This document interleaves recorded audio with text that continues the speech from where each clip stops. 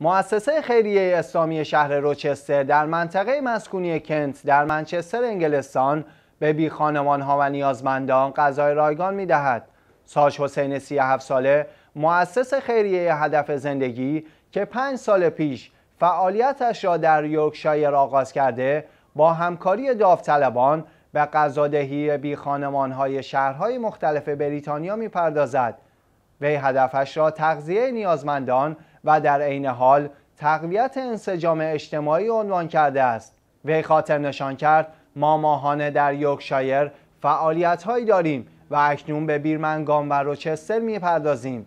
حسین تصریح کرد روال ما این است که صدهای موجود میان جوامع را بشکنیم و اطمینان حاصل کنیم که همه احساس همبستگی و مشارکت داشته باشند. به خصوص اکنون با توجه به اسلام حراسی و منفی گرایی در رسانه ها فکر می کنم مبارزه برای دستیابی به مثبت اندیشی بسیار مهم است. وی تاکید کرد این فقط بی خانمان ها نیستند که به کمک ما نیاز دارند بلکه افرادی که از استراب، افسردگی، محرومیت و تنهایی رنج می‌برند را نیز نباید فراموش کنیم و از آنها حمایت کنیم.